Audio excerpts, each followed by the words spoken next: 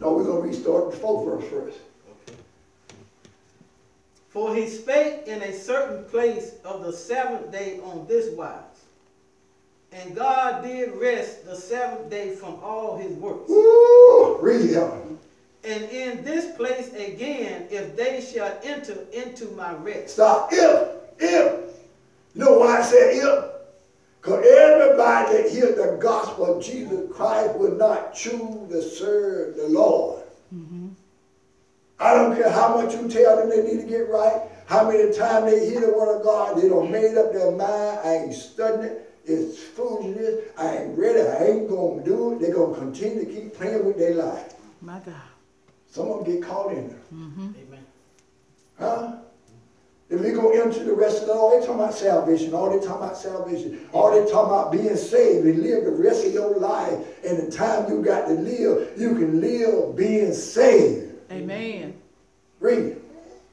Seeing therefore it remaineth that some must enter therein, and they to whom it was first preached enter not in because of unbelief. Why they didn't make it? Why some folk didn't make it? Unbelief. Unbelief.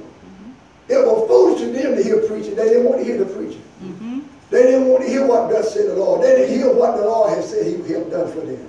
Amen. And because of their unbelief, they died and they went to hell. They could not enter the rest of God. Jesus. Read. Again he limit Woo! You see it? Amen. Again, he limit. That means a certain time. What? What time would he limit? Read. a certain day, saying and David, Start go back. A certain what? Day. day. It ain't talking about Tuesday. Amen. You can get it all already out of your mind. It ain't talking about, I'm going to get saved Friday. You're lying. the Lord showed me, I'm going to get you to say, no, you, you're lying to yourself. I'm going to tell you what day it is because he don't limit the day. Amen. Read on. Today. Woo! What day? Today. Today is the most important time in your life. If you would do the right thing, if you would make the right choice, if you will be man enough or woman enough to give life to the Lord. You see why I said be man enough or woman enough to give your life to the Lord? Why because the last verse in this chapter is going to tell you it takes boldness. It takes a woman of God. It takes a man to say, I want to say, be saved. I'm going to surrender and give my life to the Lord. It takes a man to say, I want to be saved. I want to serve the Lord. It takes boldness. Praise I'm God. true, to what Amen. I'm, I'm true to what I'm telling you in the world. Amen. But if you get saved, you get saved. What? Read today, what? Today, after so long a time, Uh-huh. as it is said, today, No, it said what? Tuesday. Today. today, Tuesday. Today. Wednesday. Today. Uh, it said, it is said today, if you what? will hear his voice. Harden not your heart. You ain't got to go out the same way you came in. Amen. If you ain't saved and ain't saved, no, you ain't got to go out with your heart still hard. And if you do, do you know what you do? All you do, get him ammunition. You get him more ammunition for you to, it'll be easy for you to say no the next time. Every time you deny him, every time you say you don't want him and stuff, it, makes it easy for you to say no the next time. Mm-hmm. That's how the enemy works. But now on the other hand, you got some folk considerate. Because the Bible says it takes a wise man and a wise woman, hey, to what? To consider those things. What did that mean? They ponder it. Mm-hmm. They have not made a decision yet, but yet still they're making a decision to say, Lord, I'm going to serve you. Amen. That's a wise person. Amen. And the Lord give them time to get saved, give their life to him. But he wanted to do it today. Today. Amen. Read. For if Jesus had given them rest, then would he not afterward have spoken of another day? Woo! See what I'm saying? He ain't talking about another, he talking about today. When God came to deliver, he want to deliver them that day. He didn't wait the next week. He didn't tell all the folk, get yourself together. I'm going to come down here next week and save y'all. Mm-mm. When he got the children of Israel out of there, it was that day. He said, look, take everything, get up and come up out of there. He said, do it now. Now. Don't wait. Get up and get in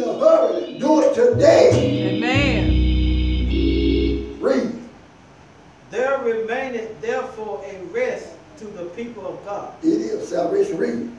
For he that is entered into his rest, he also has ceased from his own works, as God did from his. Read.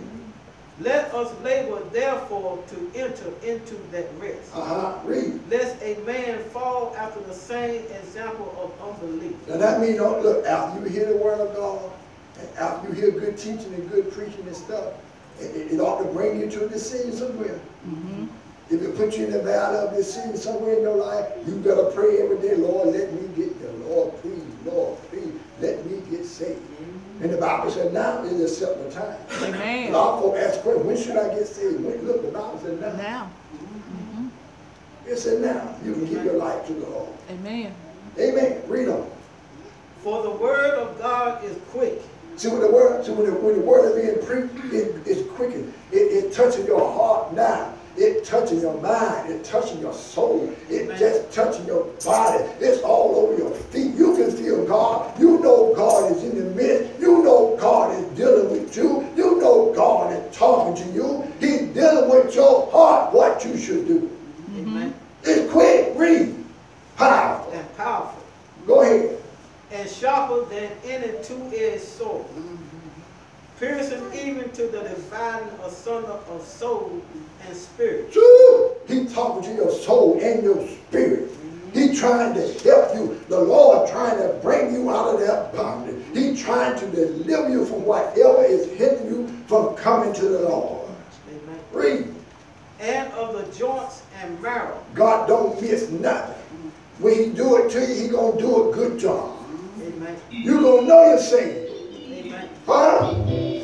Recognize there's a change that come in your life. They can look at you and tell you, I look, at you what he you be. So look at him, look at him. He got something. She got something. Because that's how God deal with you. Amen.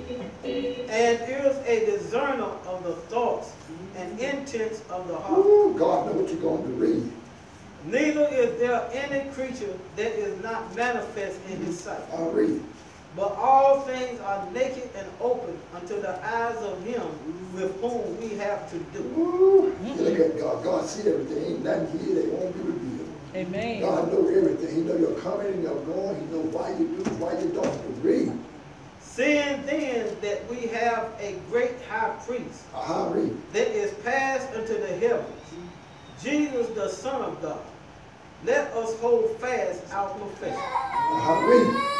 For we have not an high priest which cannot be touched with the feelings of our infirmities, Uh-huh. but was in all points tempted like we are, yet without sin. Now stop there. You, you know what I mean? You know what I mean? God see everything. God know everything. God touch every infirmity, everything that you're going through. God already know what you're going through, what you're going through, how you're going through. He know how you feel about it. He know why you do what you do. He know why you done what you done and everything. Amen. You can't hide it from God. He already know. Mm-hmm. Amen. Amen. Amen. For we have not a high priest that cannot be touched with our, with our feelings. He know how you feel in infirmity. He know what you're going through, your sickness and disease and everything that you feel. He said, but in, in all points, he's tempted like well. Everything you're being tempted with, God already been tempted with. It ain't nothing that's too hard for God that God can't deliver you from it and that you can't live right before God. Amen. Then it said, yet without sin. When you get saved, yes, you can live old.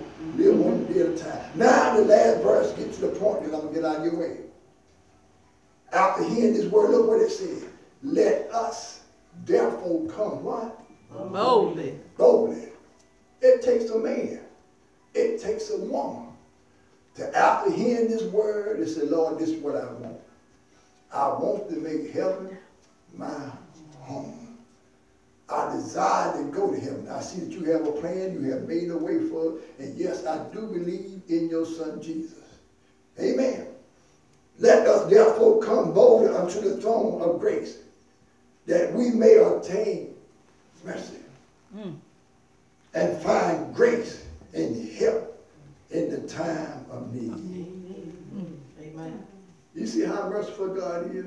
Amen. Amen. Even after all the decision making, And all the denying that folks have done after he tried to help them, his mercy, his hand still is extended out to them.